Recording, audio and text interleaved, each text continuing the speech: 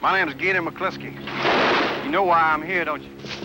I said, you know why I'm here, don't you? Burt Reynolds is Gator McCluskey. Whether he's racing the law Gonna be in trouble now. or chasing the ladies, Gator's the fastest thing alive.